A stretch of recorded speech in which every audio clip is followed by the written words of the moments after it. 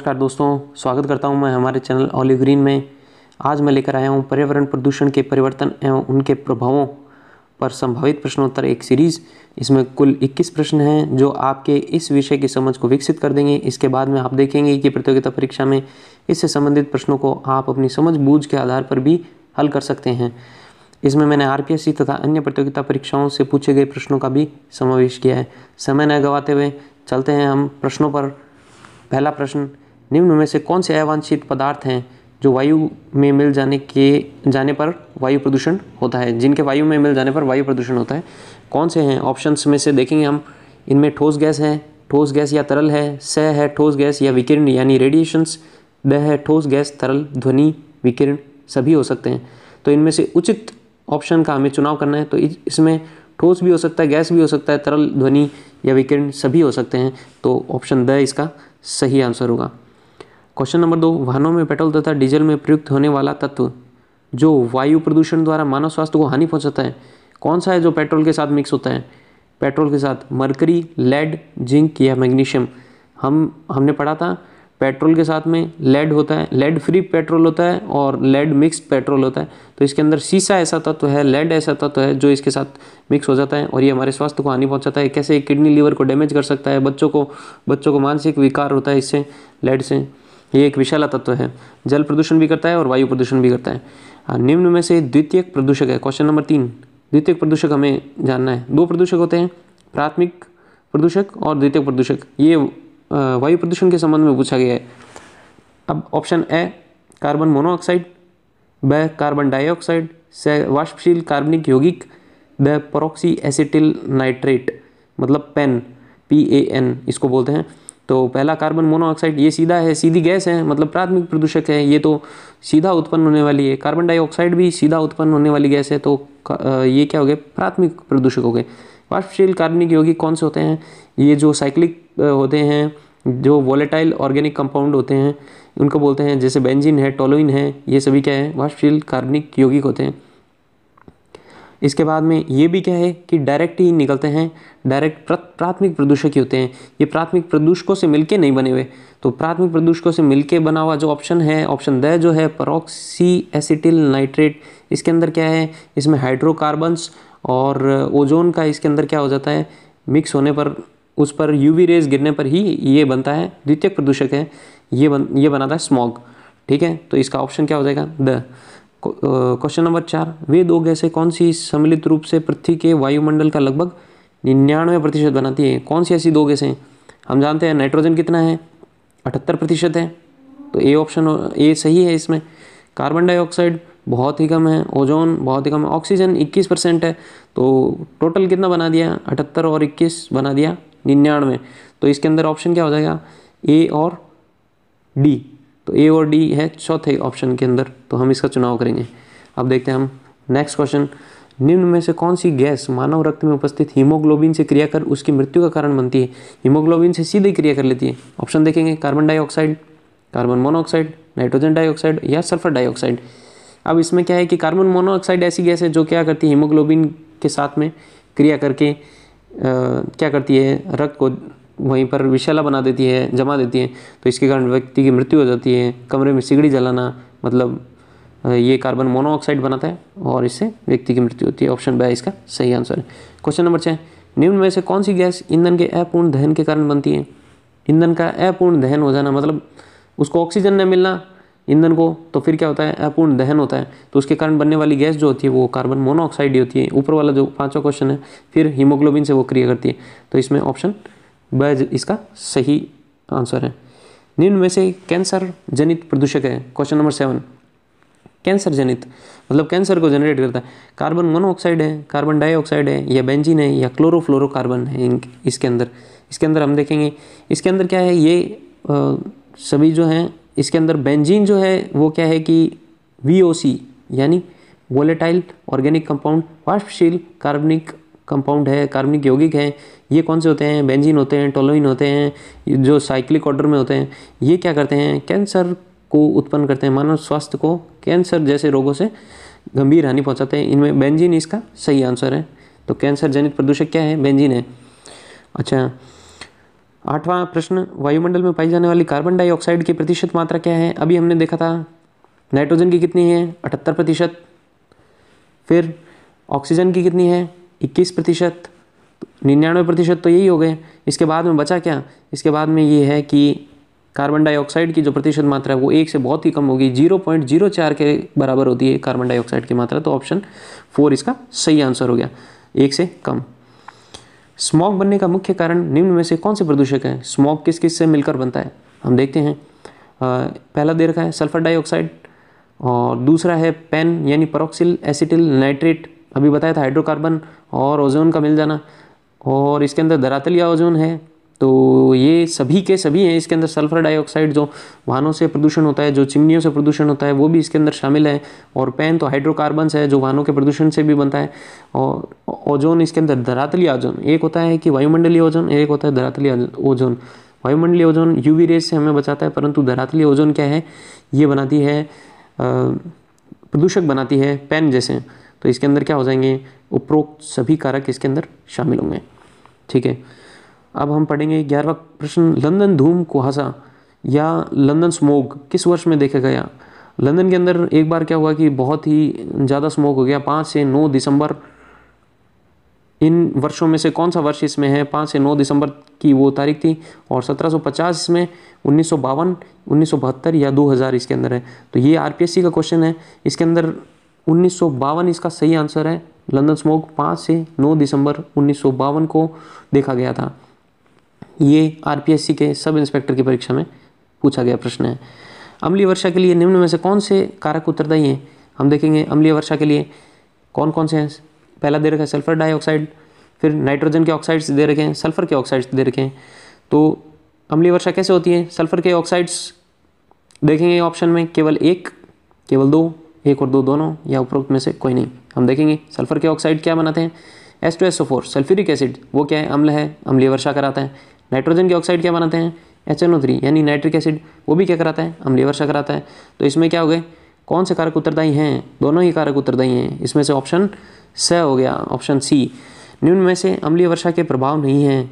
अम्लीय वर्षा के प्रभाव नहीं हैं। प्रभाव कौन से देख लेते हैं। ताजमहल का पीला पड़ना ये प्रभाव है, बिल्कुल है। धातुओं का संचारण होना, जंग लगना मतलब अम्लीय वर्षा करवाती है? क्या जंग करवाती है, बिल्कुल जंग लगती है इससे। तीन, दमा हो जाना, व्यक्तियों में स्वास्थ्य के श्वास की प्रॉब्लम हो जाना, दमा हो जाना, अम्लीय वर्षा के कारण होता है। हाँ होता है, ऐसा होता है। तो ये तीनों ही इसके प्रभाव में शामिल हैं। तो केवल एक, केवल तीन, दो या तीन, इसमें पूछा क्या है? प्रभाव नहीं है। तो उपरोक्त में से कोई नहीं इसका आंसर होगा। कौन सा आंसर होगा? द, उपरोक्त में से कोई नहीं। सभी के सभी इसके प्रभाव हैं। अगला प्रश्न देखें, ओजोन परत पाई जाती है। ओजोन परत कहाँ पाई जाती है? शोभ समताप मंडल आयन मंडल या बहिर्मंडल में।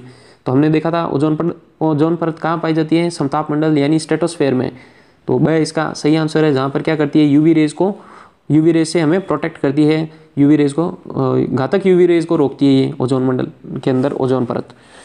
ठीक है, ओजोन परत को क्षति पहुँचाने वाला मुख्य तत्व कौन सा है? मुख्य तत्व या मुख्य गैस कौन सी है? हमें देखना है, कार्बन डाइऑक्साइड है क्या? ओजोन परत को हानि पहुंचाती है। फ्लोरीन है, मीथेन है या फिर क्लोरीन है। तो चारों में से कौन सा है? इसके अंदर हमने देखा था ओजोन परत को क्षति पहुँचाने वाला तत्व तो कौन सा है? सी एफ़ सी सी एफ़ सी जो होता है क्लोरोफ्लोरोकार्बन जो हमारे प्रशीतक यानी रेफ्रिजरेटर्स में ए सी के अंदर यूज़ होता है, या फिर एरोसोल्स के अंदर यूज़ होता है स्प्रे के अंदर बॉडी स्प्रे के अंदर यूज़ होता है। तो इसके अंदर क्या है कि क्लोरीन ऐसा तत्व क्लोरोफ्लोरोकार्बन में क्लोरीन ही ऐसा तत्व है जो क्या करता है?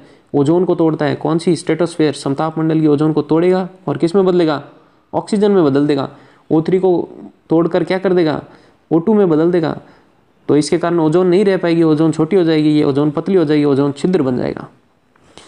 तो ओजोन परत को क्षति पहुँचाने वाले कारकों में कौन कौन से सम्मिलित हैं? देखना है।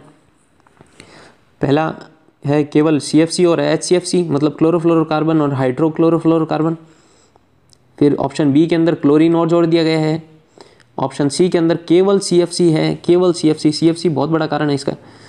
द है सी एफ़ सी भी है एच सी एफ़ सी भी है क्लोरीन भी है और विभिन्न एरोसोल्स भी है। तो अभी हमने बात की थी क्लोरोफ्लोरोकार्बन में क्लोरो है एच सी एफ़ सी में भी क्लोरो है। क्लोरीन तो खुद है ही ऐसा तो विभिन्न एरोसोल्स ये सभी के सभी क्या हैं?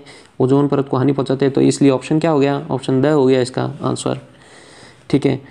क्वेश्चन नंबर फिफ्टीन ओजोन परत का शरण अधिक कहाँ हुआ है? तो सबसे पहले बात करते हैं ओजोन परत जो है, उसकी मोटाई घटी है, पतली हो गई है तो उसको क्या बोला गया? ओजोन छिद्र बोला गया है। कहाँ कहाँ पर हुए? इनका संदरण कहाँ होता है? ओजोन का ओजोन का संदरण होता है ध्रुवों पर।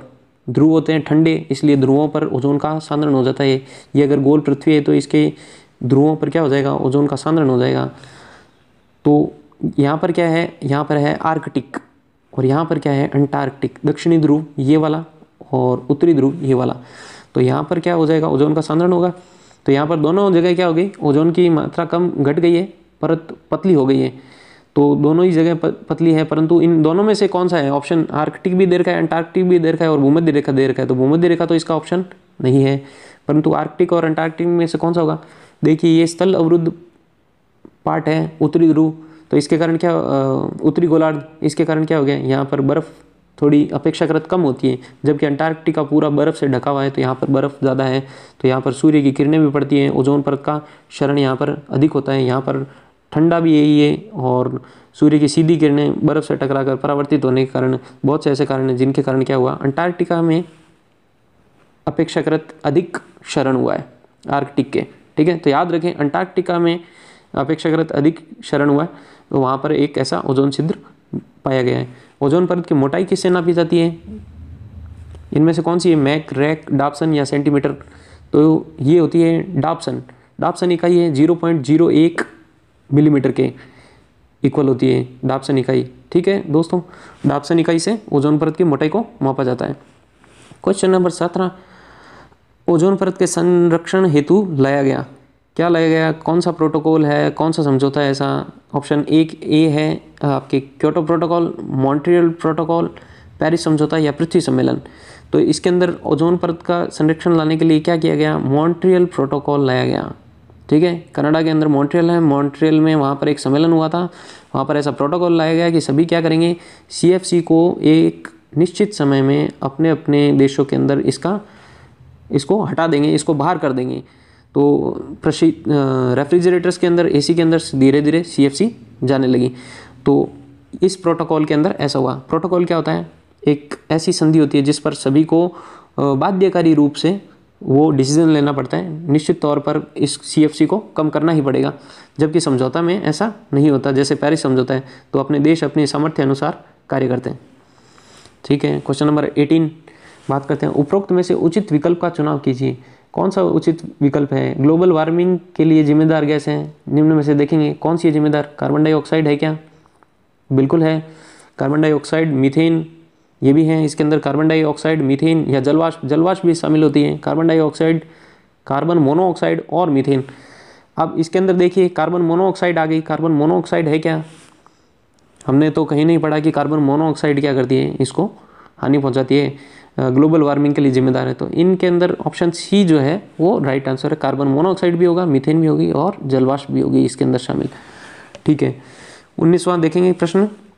किस गैस की वैश्विक तापन में भागीदारी सर्वाधिक है। ग्लोबल वार्मिंग में कौन सी गैस ऐसी है जिसकी भागीदारी सर्वाधिक है?